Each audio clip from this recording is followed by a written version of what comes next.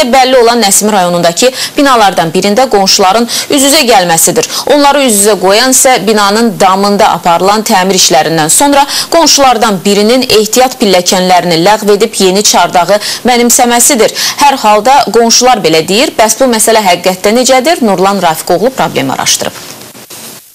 Bax, normal halda da belə olur. Bu halda isə bu özünə otaq tikib. Yəni ki, bu da e, yanğına səbəb ola bilər. Paytaxtın Nəsimi rayonu Mərdanov qardaşları 15 nömrəli binanın 4-cü mərtəbəsində yaşayan sakinlərin şikayəti onların qonşularındandır. Sakinlərin sözlərinə görə 55 saylı mənzildə yaşayan Vaqif Aşurzadə binanın çardağını zəbt edərək özü üçün əlavə otaq tikmək istəyir. 2011-ci ildə binanın talvarında baş vermiş yanğınla əlaqədar dam örtükləri mənzil istismar sahəsi tərəfindən yenilənib. Elə bundan istifadə edən qonşu ehtiyat pləkanlarını ləğv etdirib. Sadəcə öz mənzilinin üzərinə düşən çardağa gedən yeni pləkan tikdirərək qapı qoyub. Həmin qapı da sakinlərin şikayəti əsasında Mənzil Kommunal Təsərrüfat Birliyinin əməkdaşları tərəfindən sökdürülüb. Bütün bunları sakinlər deyir. Bunlara rəğmən onlar yenə çıxılmaz vəziyyətdə qalaraq çardağa çıxıb hər hansı bir təmir tikinti işi apara bilmirlər. Çünki qonşu Vaqif mövcud olan bu ümumi məqsədli pləkandan qonşuların istifadə etməsinə icazə vermir. Azərbaycan Respublikasının qanunu var ki, açıq bir anı qorumalıyıq.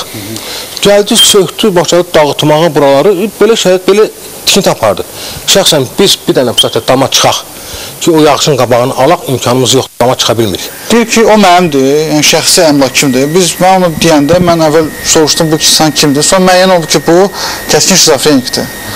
Bu bu adam Jekə gedir, Jek qorxur bundan. Bütün bu işlərin hansı əsaslara görülməsini elə qonşu Vaqif Aşırzadədən öyrənməyə çalışdıq.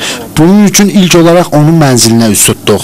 Lakin evdə olmadığını görüb onunla telefon əlaqəsi saxladıq.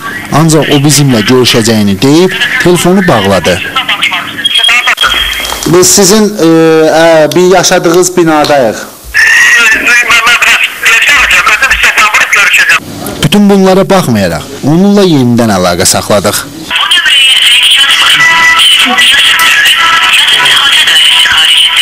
Problemlə bağlı Nəsimi rayon icra hakimiyyətinin Mənzil Kommunal Təsərrüfat Birliyinə üst tutduq.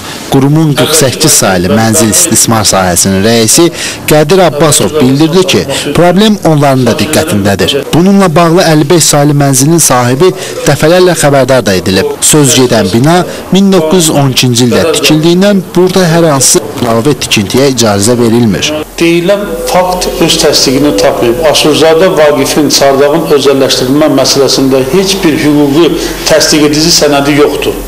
Artıq o hüquq mühafizə orqanları səviyyəsində məsələ öz əlindən tapmalıdır. Ona bir neçə dəfə rəsmi xəbərdarlıqlar edilmiş və o öz işini başa düşmüşdür ki, apardığı işlər tam qanunsuzdur.